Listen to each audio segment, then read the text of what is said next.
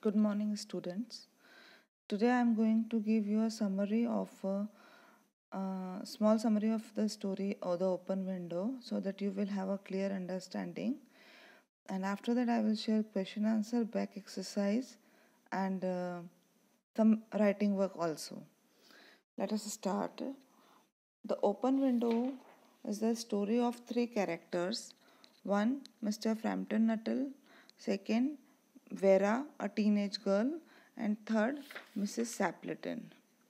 Framton Nuttel ने uh, Mrs Sappleton के घर पे विजिट किया but he was not able to meet her but he met his niece named Vera she is a teenage girl she is a teenage girl so she said that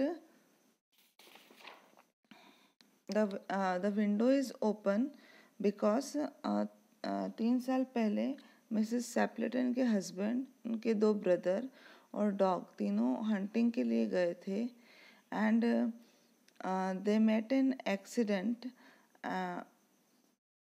and they met an accident and they they all the three with the dog did not came back they died so uh, Mrs. Sappleton is always keeping that window open so that um, uh, whenever they came back, uh, they can come from inside from the window, and she is still waiting for them.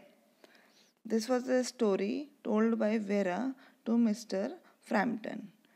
But suddenly, um, Mrs. Sappleton came inside the room and uh, um, she was looking at the open window saying that i'm waiting for my husband and brothers and dog. And uh, when they were busy in talking with each other uh, they um, mrs framton saw three shadows coming towards the home.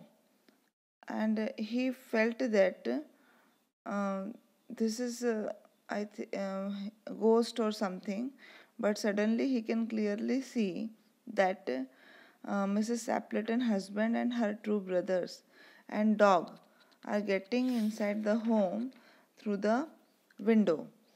So uh, now he finally concluded that um, Vera, the girl, was uh, telling him a wrong story and was making. Uh, or can say he was uh, playing with the feelings of Mr. Framton. And uh, finally, all the three uh, men and the dog came inside the house. Uh, but uh, Mr. Framton was very uh, shocked by the story which was told to him by Vera.